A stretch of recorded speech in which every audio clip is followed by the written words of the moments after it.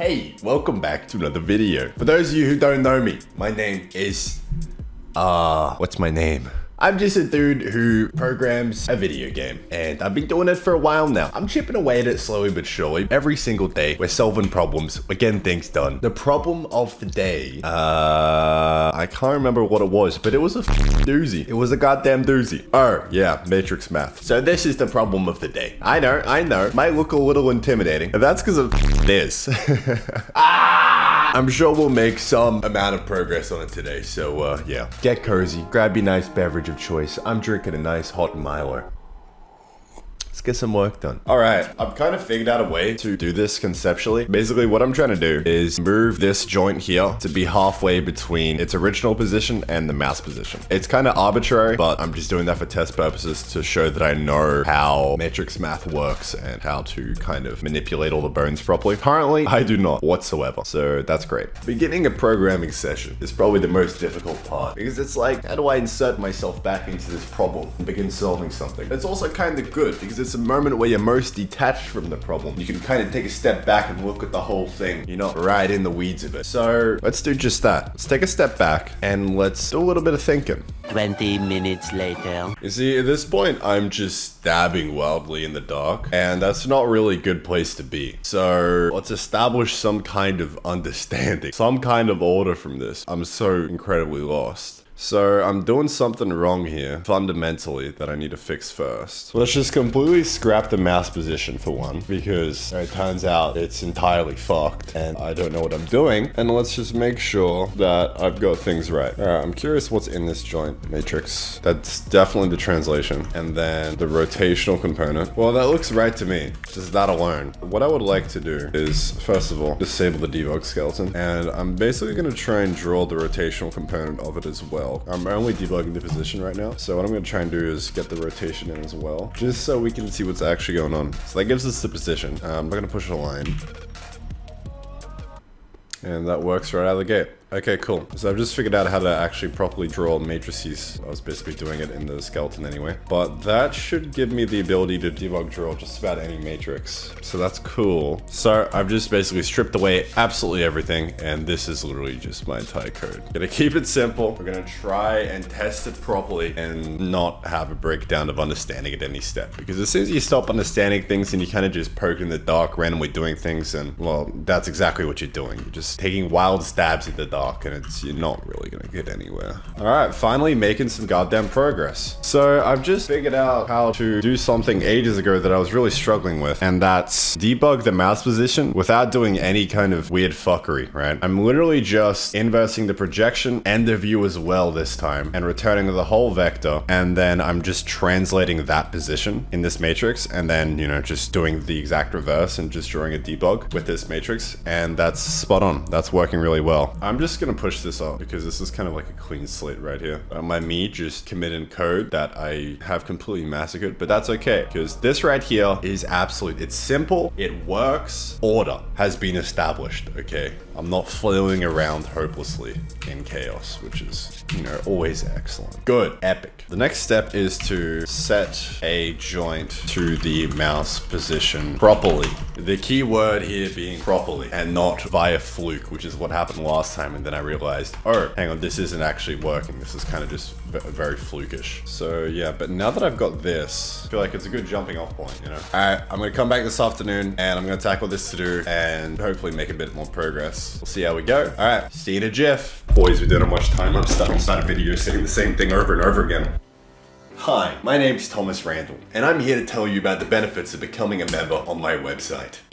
Aside from supporting yours truly and helping to hire new team members to pump out the game more quicker and effectively, you'll also get access to all the source code for my game.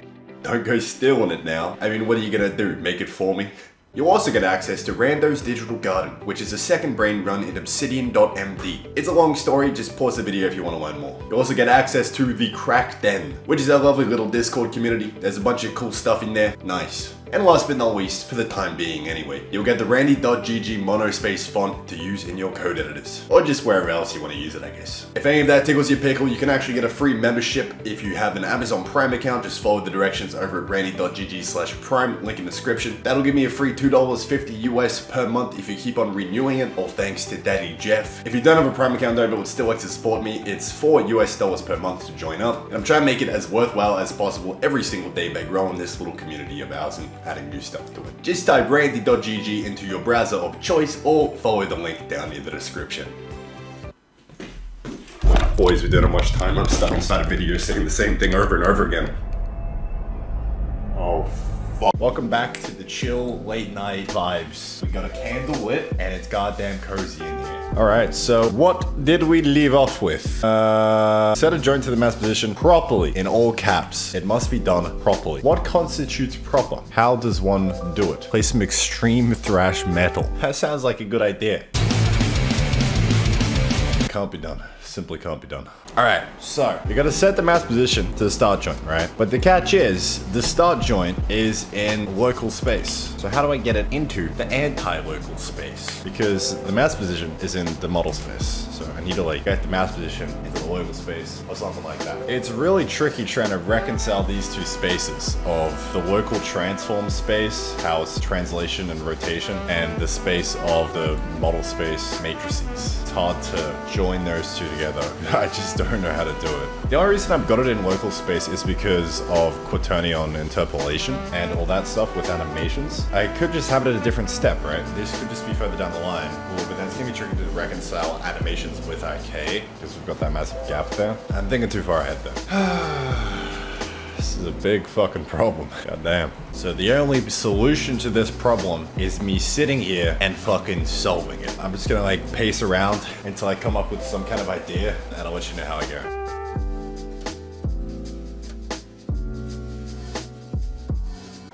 All right, got a lead. Figure out how to reverse the joint mat back to zero. That's what I'm gonna try to do. If I can reverse the joint mat back to zero by doing the entire thing in reverse, then I can also apply the exact same set of transformations to this guy, and that will put it into local space and give it the offset that we need. That's the little thought experiment. My next issue is actually figuring out how to reverse an operation like this. Because uh, what's happening is this get import from transform is essentially just going translation times rotation. We can start simple by putting it at the of the leg. That seems like a bitch move though. I ain't copping out. What I need to do, I've just figured out, is uh, we've got a bunch of rotations happening for each joint, right? This rotates out that way, and then this rotates down the other way to get all the way down to here. In order to neutralize this, what I need to do is just flip these rotations around. So I need to reverse this rotation to bring it back into this space, and then use this rotation to reverse this one to bring it back directly up. How do I do that? How to reverse a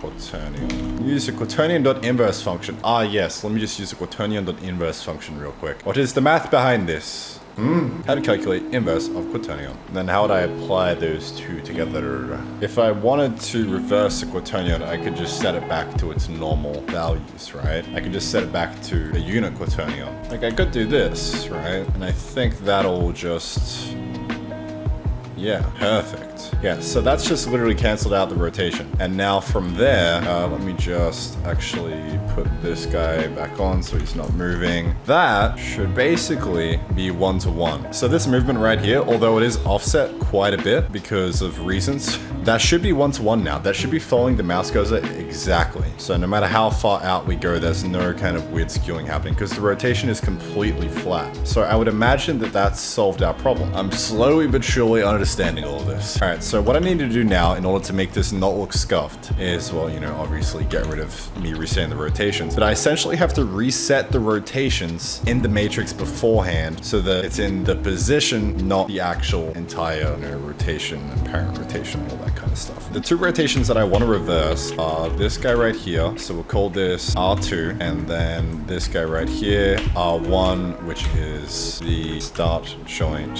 These are our two quaternions that we want to reverse, right? So we're trying to apply these reverse translations to this guy right here, this test matrix. How do I do that? Yay, a nice video. Yeah, yeah, yeah, yeah, yeah, yeah. Yeah. know- That's exactly what I want. And up here, I'm now down here. Everything turns negative, so it's the same thing as saying over 2 n hat. I do not understand. Simple We're literally just flipping power. XYZ. Is that legit? I just flipped the fucking XYZ? Alright, quick little update. I've successfully reversed the rotation of this joint mat over here. That's the joint matrix. And I literally just flipped these guys around and rotated it back. And when I multiply those two together, I get this matrix, which has absolutely no rotational component whatsoever. So that's good. I'm literally just rotating R1, which R1 is, you know, the inverse of the parent. And then I'm translating just one along the X, which, you know, should slide it back, which, you know, that's exactly what it does. So that's good, I believe. All right, it's kind of odd to me that having both rotations together do that, whereas just having one rotation like that actually normalizes it and puts it back to that. So what I'm doing here, right, flipping this one back to this line here, so then it's pointing like that. You know, I would think that that's done, but apparently there's another one. Actually, maybe I check VS Code. Damn, it's raining.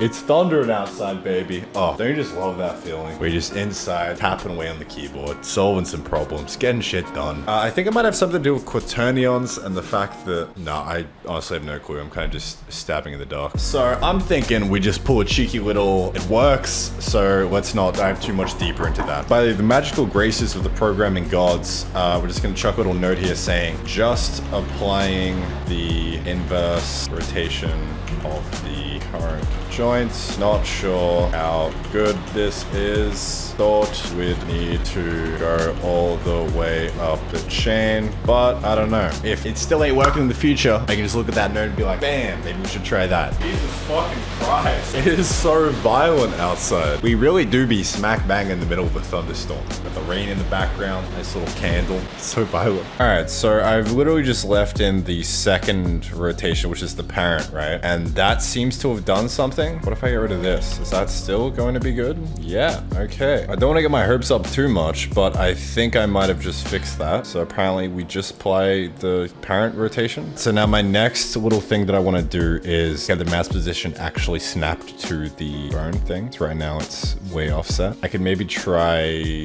doing what I was doing before, multiplying by the inverse bind matrix to level it out.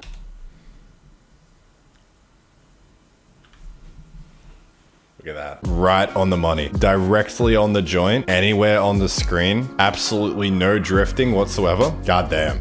That is amazing. Without touching anything else, is that going to then put me down to the third leg bone?